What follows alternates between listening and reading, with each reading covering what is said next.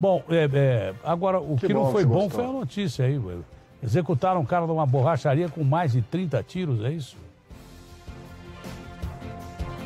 É isso mesmo, Datena. Um abraço para você, para os amigos do Brasil. Gente, esse crime aconteceu na cidade de Uberaba, aqui 100 quilômetros de Uberlândia.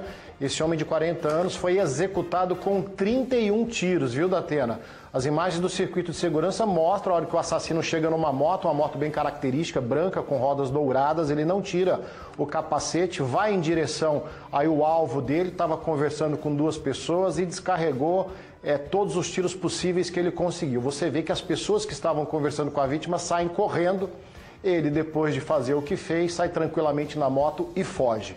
A polícia, de posse dessas imagens aí, já identificou o principal suspeito do crime, encontrou esse rapaz é, que teria saído da cadeia dois dias, saiu da prisão no dia 17 e vinha falando, de acordo com a polícia, que ia matar, que ia matar porque a suspeita é que o morto, o futuro finado aí, estaria tendo um envolvimento com a namorada do preso, do matador. Então, uma das linhas de investigação seria um crime passional.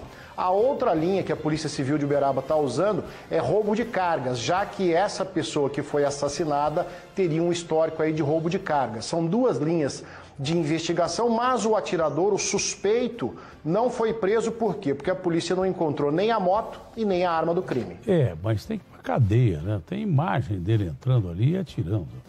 Não encontrou a arma do crime. O Bruno, é, é, que, que mandou matar a Elisa Samud, não tinha nem o corpo, que é pior do que, do que a arma. Nem, não encontraram nem o corpo da Elisa Samud.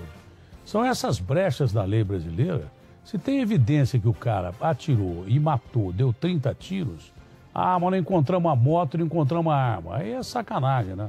Aí é usar o lado da lei que solta e não o lado da lei que prende. Bandido leva vantagem toda hora aqui. Ah, não tem cabimento. Nesse país não tem cabimento. Ah, não encontramos nem a moto, nem a arma. Mas não encontraram o cara? Prende o cara, pô. Prende o cara. É simples assim. Tem crime que não tem corpo, no caso da Elisa Sabud, o cara desapareceu com o corpo. Porque o Bruno é tão covarde que ele torturou a menina e mandou um matador profissional matar a moça, a Elisa Samud. O corpo não foi encontrado. Mas aí foi provado que realmente o Bruno mandou matar. Entendeu? Então a polícia é, tem que usar. É, tem delegado que é macho pra caramba, a maioria.